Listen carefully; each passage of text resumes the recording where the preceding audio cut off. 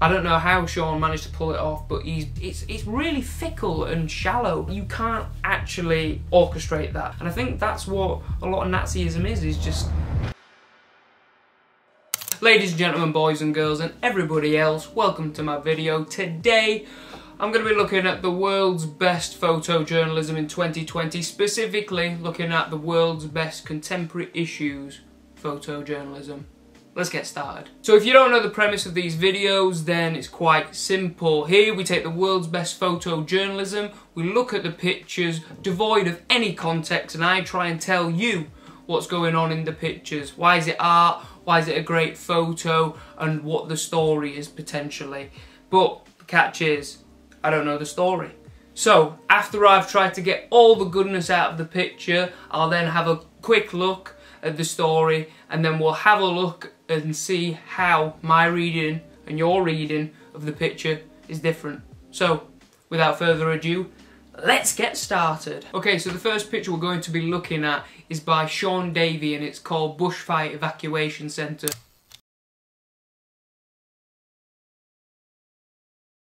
Okay. First thing that I noticed about this image is the colour.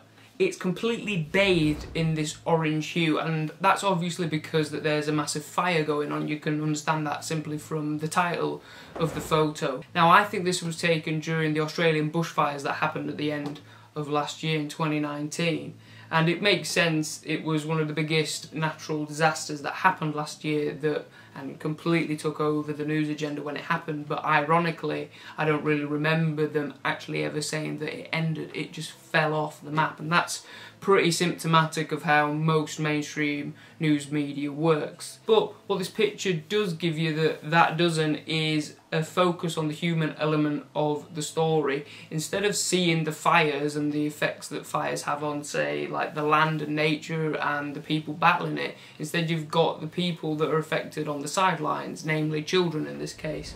And i think that actually gives such a power to the image because it subverts your expectation. You expect to see a fire. So the second thing that i noticed in the image is the composition. I don't know how sean managed to pull it off but he's perfectly put all the children in this arrow formation which forces the reader's eye to kind of converge in into the centre and where my eye lands is on the girl with her face mask.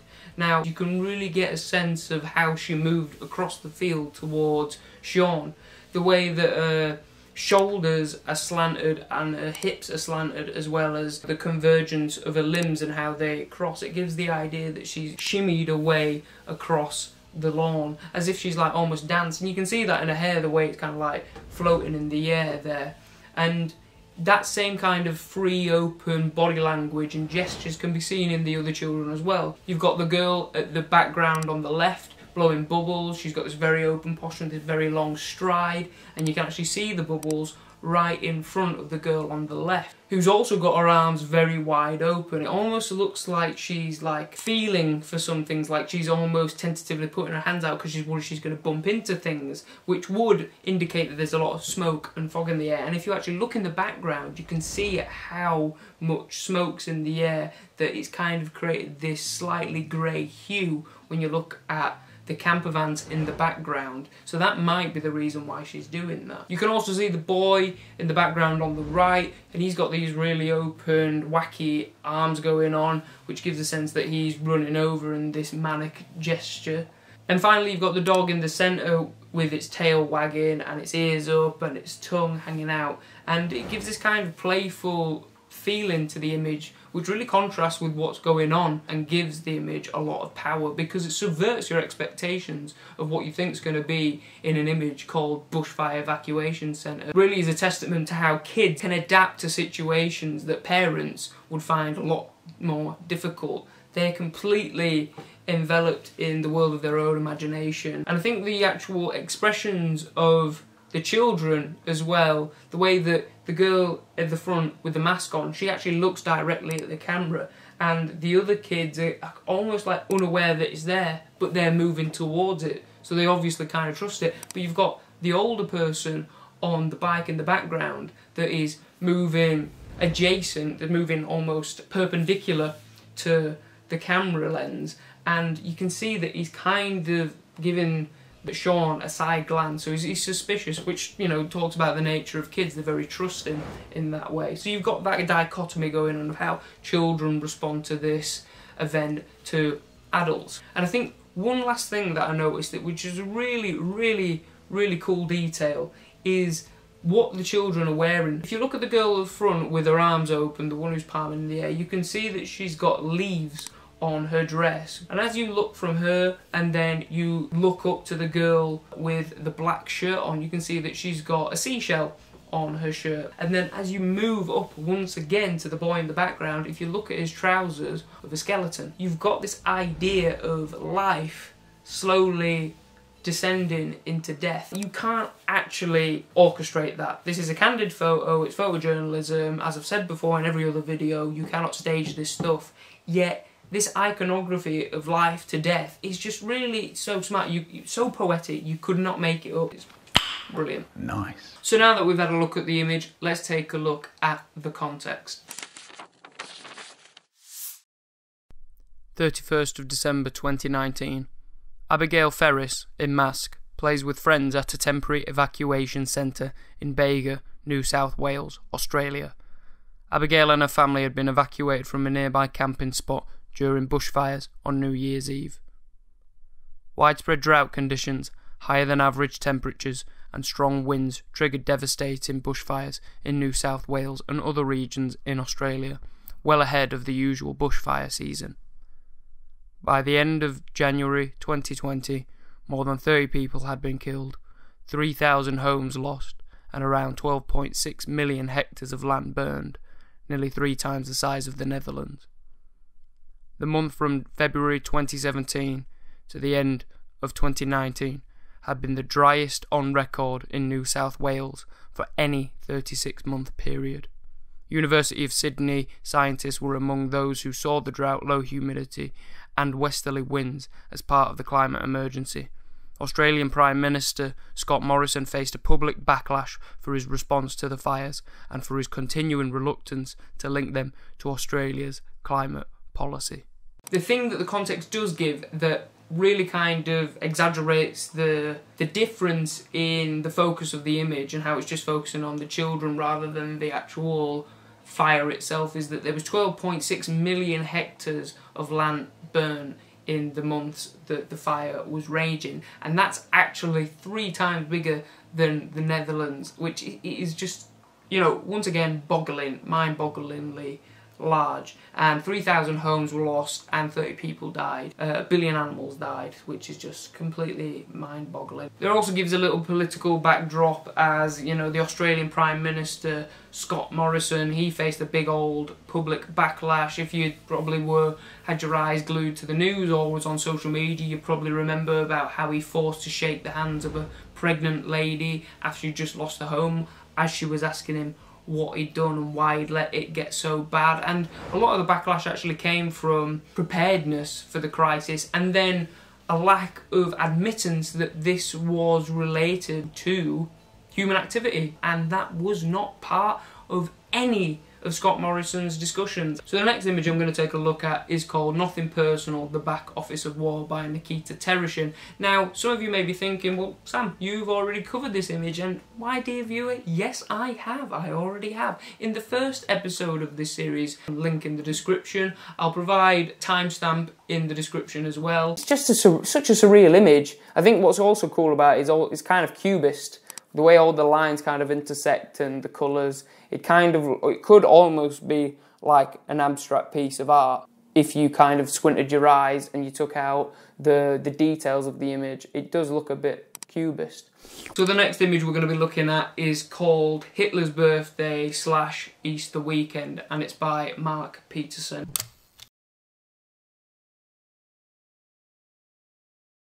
What gets me about this picture is that the last thing I noticed about this picture, which is actually the most obvious part, is about what they're interacting with, who they're interacting with. So obviously they're doing the Sieg Heil, but they're all looking beyond the picture. So in the first one we looked at by Sean Davey, we actually had a bit of interaction between the viewer, the camera, and the subject. But in this one, no one's looking at the camera because they're actually saying hi to some other people. Now, I would bet that these other people are Nazis and actually just greeting them. that really kind of makes me uncomfortable because what, what that communicates is that there's more people like these guys. So there's a lot more hate in the world, and you can see that through the obvious stuff beyond them greeting other people that are similar to them, but that's through their symbology. The swastika before it was taken on by the Nazis was actually a Buddhist peace symbol, but it was flipped. So when the Nazis came into power, what they did was they took the peace symbol and they flipped it, and then it became this whole new symbol, taking on a completely whole new meaning. And a similar thing happens in this image when you actually pick it apart and realise what the image would actually communicate without any of the hate symbols. If you got rid of their swastika tattoos and the swastika flag and, removed the Sieg Heil, this would be quite an ordinary image. I'm guessing this is America because this is pretty culturally normal going out on lads trip, going out, you know, boating, yachting, cracking a cold one with the boys. That's pretty normal. But then when you bring in this extreme alt-right element, it just completely warps the image and, and makes it even more surreal. The next thing I want to talk about is the tattoos. Now these guys have got quite a lot of tattoos and each one has different meaning. I'm going to pick on three specifically. So the first one I want to pick is the Brandsrum, which you can see on the guy's clavicle. I tried looking up what Brandsrum meant. I also tried searching for Branscombe. The only thing that I got was it could be potentially a family name. Now, bear that in mind. Why would someone get a tattoo of their family name on the body? I mean, some people do it, but that to me implies that there's a lot of pride in the family. And if I've realised or known anything that racism is learned, it's not innate, you're not born with it, you learn it from people. That ideology is within your family, then you're probably going to inherit that because, you know, it's going to be quite hard to tell them that, that you think this is wrong when you're surrounded by them all the time and especially if you know they threaten you with booting you out. Maybe it's that. Maybe it's an extreme pride in his family which would you know imply that he doesn't have really much uh, diversity in the thought or the influences that he's getting. The other thing that I noticed is the dollar symbol on his right arm. Right wing, capitalism, money, that's pretty simple. That one's pretty on the nose in my opinion all these kind of elements, even the guy's tank top at the back, it's, you know, got 99 problems but my bench ain't one. You know, it's like, why why do you have to wear a tank top? To let everyone know that you, have got a bench press. What you, what anxieties are you covering up? Because that's what I think all this is. You know, feeling lost, a lack of community, want to meet like-minded people, feeling insecure, having to wear this shirt that lets everyone know that you you bench. It's it's it's really fickle and shallow, and I think that's what a lot of Nazism is. Is just you know, they're not actually being exposed to different you know, worldviews. From the sense of this picture, that's what I get. There's just a homo homogenous group, and they're all this big old echo chamber. So the third tattoo I want to talk about is the one on the guy on the right. It says apotheosis on his chest. Now, apotheosis means the perfect example or embodiment of something. Now, to me, that's pretty clear what that's saying. That's um, talking about the Aryan race, the master race, the idea that there is, you know, white, blonde-haired, blue-eyed male is the epitome of, you know, human creation and that everyone else is below that. It's just unbelievable that there are people that go out there every day of their lives to work and take pictures and interact with these potentially dangerous people. This this stuff, you know, will be part of films that come out in cinemas over the next few years. There will be that based on a true story pictures that people will go, oh my god, how could this happen? You know, and here they are being printed out in newspapers for people, for everyone to see. Massive props to Mark Peterson and you know everyone that I mentioned in these videos for doing what they do. So let's take a look at the context behind the image. 19th of April 2019. Members of the white supremacist group Shield Wall Network celebrate Hitler's birthday on Lake Dardanelle, Arkansas, USA. Right wing extremist activity has grown in the US over the past decade, according to a study published by Washington based think tank, the Center for Strategic and International Studies, CSIS. The study points to the rise in internet and social media use by far right groups, connections between local and international groups, and political developments in the US as major contributing factors. Although the rise began before Donald Trump began campaigning for the US presidency, The study suggests that individuals have been energized by his election. In September, US Homeland Security named white supremacy a leading terrorist threat. FBI Director Christopher Wray later told the House Judiciary Committee that far right activity posed a steady threat of violence in the US. Okay, so here's what I thought it was. It's US right-wing Nazis, okay? And it says in it how social media and the internet has been used as a big part of trying of connecting and empowering the kind of fringe groups that are in local areas that aren't very active and those that are on, you know, a big international basis. I've read studies and I'll, I'll, link a few in the description, but you know, white nationalism, white terrorism was actually accounting for more deaths and more incidents than any Islamic terrorism. So that just goes to show how much of the news agenda focuses on Muslim or Islamic terror as opposed to white terror. So ladies and gentlemen, that is the end of the video. Before you go, before I leave you, I'd like to do one thing. Let me know which was your favourite picture. If you thought Sean Davey's picture of the bushfire evacuation centre was your favourite, then please leave a fire emoji in the comment section below and tell me why. If you thought Mark Peterson's picture of Hitler's birthday slash Easter weekend picture was the best, then please leave a face palm emoji because that's only what you can do in the face of bigotry and idiocy. And if you've seen my video on Nikita Tereshin's Nothing Personal, the back office of war, then please leave a rocket emoji down below and let me know why you thought that was the best image. With that being said, that is the end of the video. Please give the video a like if you liked it, a dislike if you didn't like it. Comment below, let us know what you want me to cover in future videos. Subscribe if you're that inclined. Hit the notification bell if you're even that inclined. So stay safe, stay vigilant, and I'll see you in the next video. Nice.